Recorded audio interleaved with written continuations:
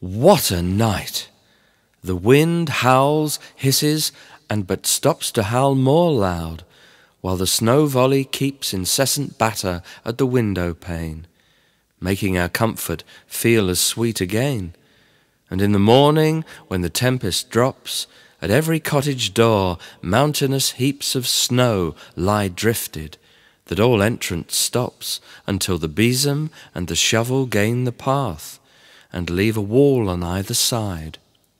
The shepherd, rambling valleys white and wide, with new sensations his old memory fills.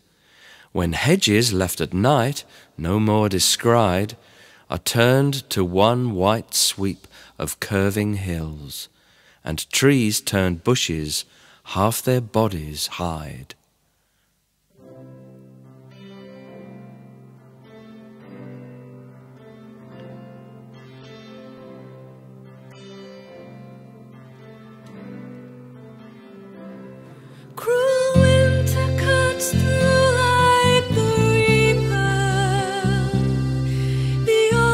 Yeah.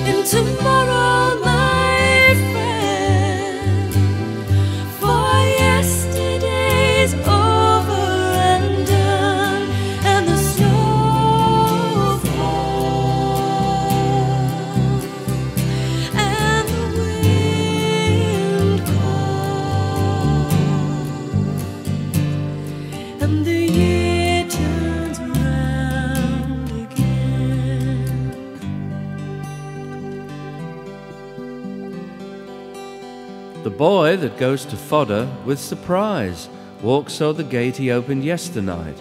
The hedges all have vanished from his eyes. E'en some treetops the sheep could reach to bite. The novel scene in Boden's new delight, and though with cautious steps his sports begin, he bolder shuffles the huge hills of snow, till down he drops and plunges to the chin, and struggles much and oft escape to win. then turns and laughs, but dare not further go, for deep the grass and bushes lie below. Where little birds that soon at eve went in, with heads tucked in their wings, now pine for day, and little field boys o'er their heads can stray.